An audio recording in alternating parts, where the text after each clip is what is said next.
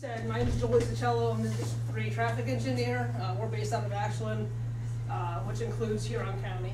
Um, so just wanted to come and talk to you in general about roundabouts and, uh, if you have any other general questions, I'd be happy to answer those. Um, like, uh, Lindsay said, you know, if a project does move forward in Huron County, uh, we will come out with public meetings at that time where we can answer more specific questions. We'll have more detailed plan information at that point, uh, where we will be able to answer more specific questions for you.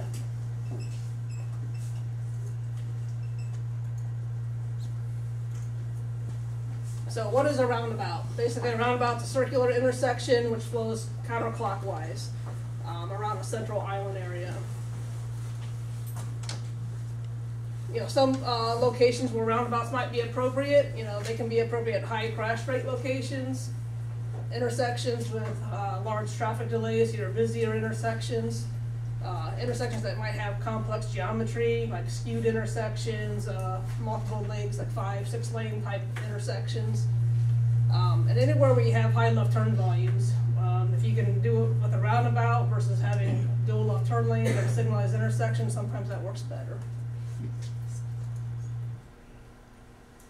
So some of the characteristics of a roundabout, uh, again, they're circular in shape, they're channelized on the approaches, what's- called a splitter island.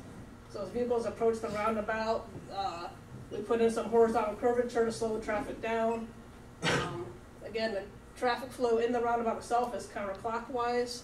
Uh, It's always, it's usually yield on entry, so all legs of the intersection or the roundabout would yield as they enter the roundabout itself. Uh, then vehicles that are in the roundabout have the right of way, uh, to go around. Um, again, the geometric curvature that I just mentioned on the splitter islands, that's kind of what creates that low speed environment. So again, you know, they're designed to slow traffic down gradually as they approach the roundabout. Uh, so by the time they get to the, uh, entry point of the roundabout itself, they're doing about twenty to twenty-five miles an hour. Um, so basically, a roundabout turns every leg into a right in, right out kind of approach. So there's no left turn movements, no straight through movements. Um, and then another, you know, big factor of roundabouts is, uh, you know, to accommodate larger vehicles, we have what's called a truck apron.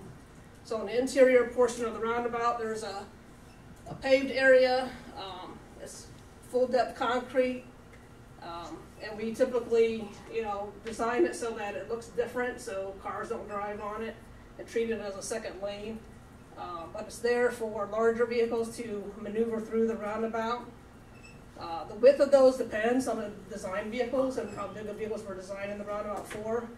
Um, typically, they're three to fifteen feet in width. Um, the ones that we've built so far in our district are about twelve to fourteen feet wide. Um, and then that rolled curb to get up on that truck apron, it's about a two to three inch rolled curb, uh, to get up there.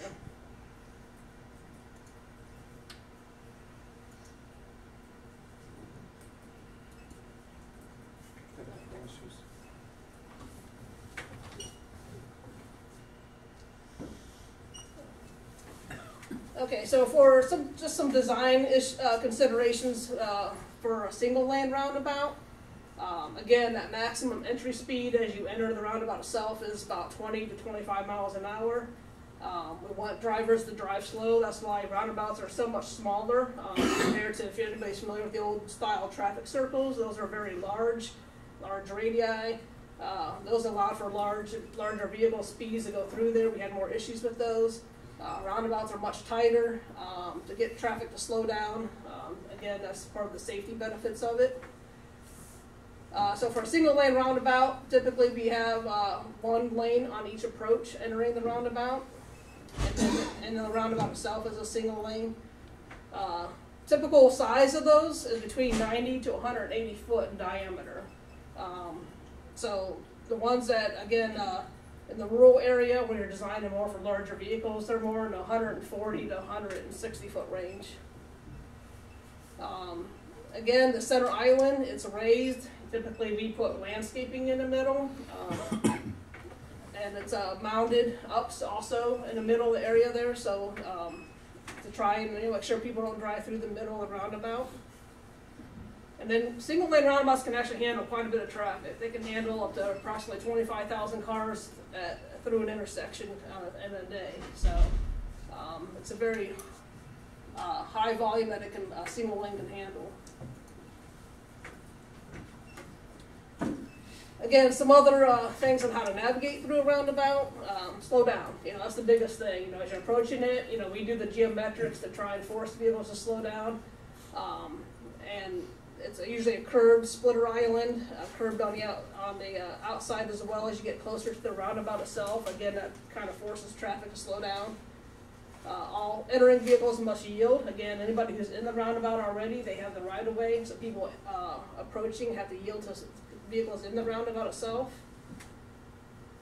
And that diagram there in the bottom just kind of shows you, uh, you know, if your typical right turn movement, you take the first exit, you know, straight through movement, you would take the second exit from wherever you entered from.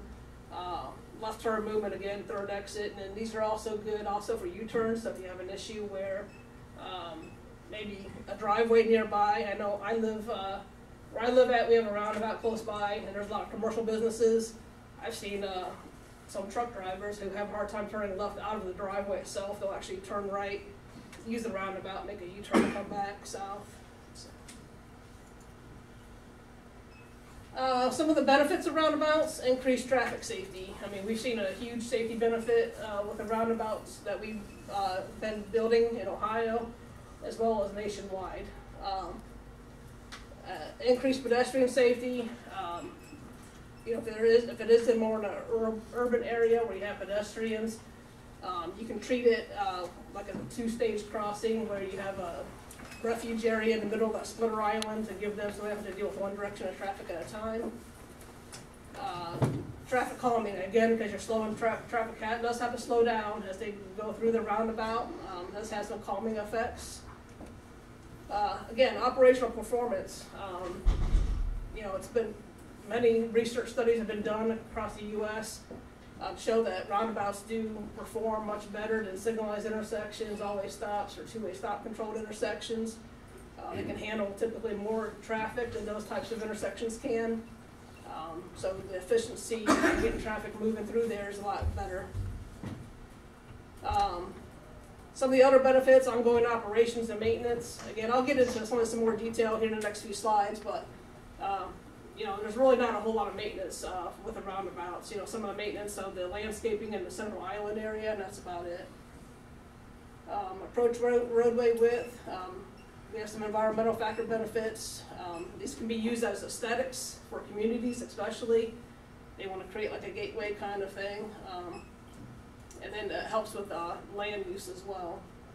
Highway, so this is based on nationwide uh, data research. Uh, basically, what we're seeing is an 89% reduction in fatal crashes, 76% uh, reduction in injuries, and a 35% reduction in all crashes at intersections where roundabouts have been installed. Um, and then I wanted to, you know, add this because we're really, you know, talking more rural conditions here in Huron County. Um, so at uh, roundabouts that have been installed along high-speed, two-lane rural highways, um, they've had even better benefit, you know, so they've actually reduced injury crashes by 68% um, and uh, injury crashes by 88%. I mean, overall crashes by 68 and injury by 88%.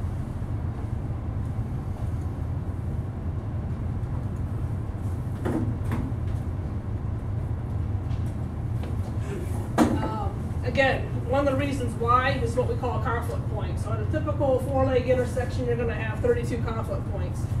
A conflict point is any place where two vehicles could come together and have a crash. Um, so, you know, a, again, typical intersection 32, at a roundabout you only have eight. Um, and typically, you know, at the roundabout, you have your what we call merging conflict. So you might have a rear end or a side swipe crash Again, because the speeds are so low at that point, they're typically result property damage only if there is a crash. Um, at a four-leg intersection, whether it's signalized, stop controlled, four-way stop, um, you still have 32 conflict points. And you know the biggest factor is those what we call crossing conflict points. So you have 16 of those 32 where you're crossing conflicts, which typically result in your angle crashes or your left turn crashes, and those typically seem to be more, more severe or fatal injury type crashes.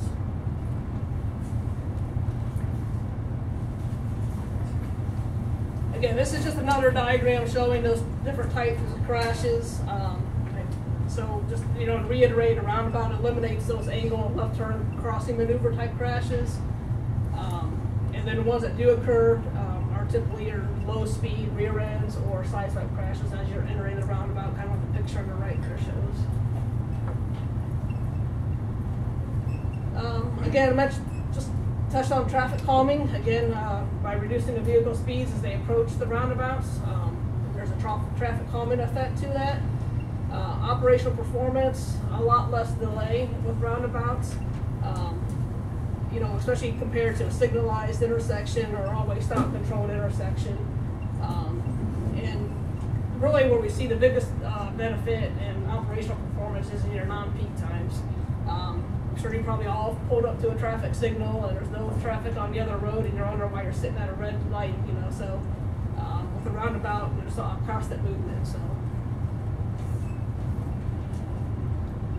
Um, the ongoing operations and maintenance, again, very little uh, maintenance with a roundabout.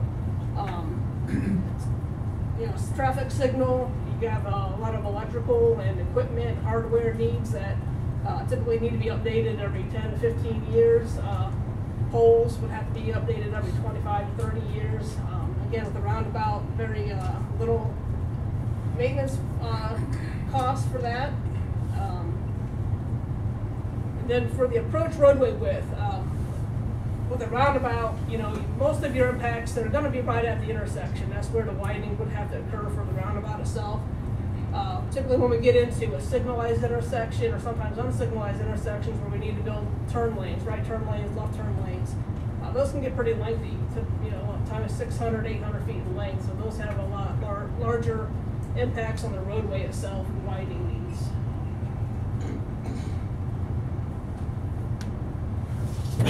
So again, uh, environmental factors. Um, since we're reducing the number of stops, you know, that helps with fuel efficiency, noise concerns. Um, so there's a reduction in noise. People aren't, you know, don't have to stop like they would at an all-way stop or a two-way stop control. Or, you know, sometimes in a signal they have the red light. Uh, it's less time spent sitting there idling. Um, then the aesthetics, again, you know, some of the ones that we've built in our district, you know, the communities have used them like as a gateway uh, into their community. So. And uh, so public perception, just want to touch on this. I mean, uh, you know, this is pretty common not only for Ohio, but state, you know, nationwide. Uh, public perception is very negative, you know, at the beginning, uh, during the planning stages, um, until that roundabout gets opened up. And then afterwards, you know, we've seen a very positive uh, feedback from the public. Uh, once the roundabout's open, they have a chance to see what it looks like and drive through it, um, see how well it operates. And these are just uh, some of the sources from the data, Federal Highway, uh, from is most of it, uh, the Washington State Department of Transportation, the The whole reason that we have the Safe Community Coalition is to address those problems. Again, just like um, um, Julie and they're all talking about, they need your feedback. Nothing's set in stone. This this isn't even slated. It's basically this is a public forum for you guys to actually start giving in, uh, your opinion as to what should be done, how it should be done, if it should be done. Um, but this whole, the whole reason why this actually started is because the number of fatalities that we've had at 601 and 18 with the State Highway Patrol, the Huron County Sheriff's Office, has had problems at specifically at that intersection. Um, so again, this is just the beginning stages of what we're trying to accomplish, what it is that the public wants to do, and you guys giving us your feedback in the direction that we should go, uh, along with ODOT and the Safe Communities Coalition. So, again, nothing's set in stone. This is the beginning process of it. So your input is being heard, uh, and they're going to formulate a plan, uh, uh, formulate a plan on how best to deal with that intersection. So, uh, again, that's why they're saying none of this stuff is uh, being planned. Nothing's being set in stone. This is the beginning stages of it. So, your input is being heard, and they're going to make decisions based off that input. Again, if it decides to move forward, again, ODOT's going to come out and they're going to start their process on, on how to best deal with that situation. So Um, again, the whole, how this whole thing started is just because of all the bad intersections. Uh, again, that one in particular where people have lost their life because, uh, if anyone knows the area, six oh one is the, is the cut through, instead of going through the city of Norwalk, people go through six oh one, take eighteen. If you're not familiar with the area, you don't stop at that intersection, people get T-boned, unfortunately, uh, over the last several years, people have lost their life there, so, um, again, that's why this whole, this whole process has started. Hopefully that answers your question. business owners, um, I, I hope that the state will consider a traffic light, because again, safety is key, and, you know, one accident is too many. But I, I don't know how Mr. Vader feels, but I know from some other business owners and myself that a light would regulate, because sadly, we both know that, or not both, everybody here knows that most people don't honor courtesy and a lot of other things, and, uh, sadly, most people are only about themselves when they drive or in different other areas of their life, so that's my take on it, and I won't say any more. Well, my question, or I guess I'm losing the question, is just basically a statement, is no matter what you people do, everybody's gonna go be satisfied. So, you can't satisfy everybody, no matter what. Yeah. Kind of like what he said about wear and tear. I work for Oglesby, so I see it all the time. Uh, we just had one down in, uh, it was in West Virginia. They just did it, two years later, we had to redo it all over wear and tear because of semis. And you said that's a low maintenance with roundabouts, but I don't really believe that. Cause I see it all the time at work. You got low boys coming in to hit them curves and they just destroy them. And that one in West Virginia, it was done two years and we had to redo the whole thing. I can't speak to that one or how it was designed or anything, so. Get back there. So in your engineering of the truck apron and a roundabout, do you have the latitude to adjust the height of that truck apron and the slope to get up onto it? Based on, uh, the particular traffic? So if we have a lot of lar- large, heavy loads and we have a lot of low boys in the area, which we do, is there an ability to make an adjustment in your engineering for that in a roundabout? Yes, it's, yeah, like I said, that, that two to three inches a couple, uh, raised or rolled curb. Um, yeah, it, it could be, you know, down to as minimum of a one inch, uh, rolled curb. So that capacity to make it lower and even increase the angle of ascent so that, that there wouldn't be that wear and tear does exist. Yeah, the slope of the truck apron itself is pretty set, you know, because we need to get drainage, so we typically design these so that everything drains to the outside of the roundabout.